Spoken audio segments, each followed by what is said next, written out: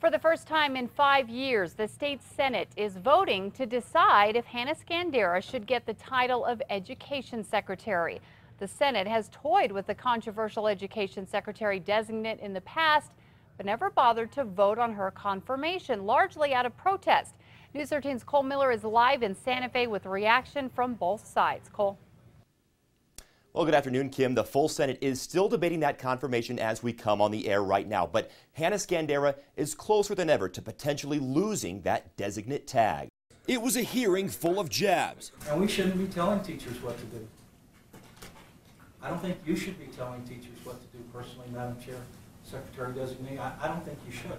Democrats taking shots at Education Secretary Designate Hanna Skandera at her confirmation hearing today. That I will work with each one of you, but more importantly, I think what I heard today, and I agree, I will work with our communities across our state to continue to deliver on the possibility that can be realized for every single student, regardless of their background, and that we will see successes that we have not seen before. People spoke out on both sides, and in the end,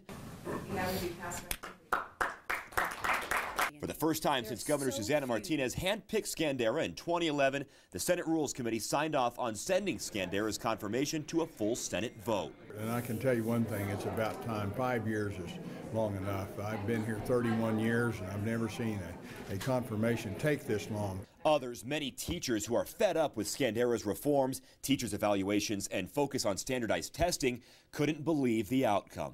Our students have been victims of horrific educational policies for the last three and a half years since she's been in office. The decision comes as the American Federation of Teachers would not listen to the teachers and parents of that state in terms of the marched at the Capitol. I'm not teaching, I'm testing and all, and we just keep testing these little kids that are five, six years old. It's ridiculous. These kids need help. They need a teacher. They don't need a tester and an administrator. And now we wait. We're headed to the floor. I'm sure the debate will be long uh, there too.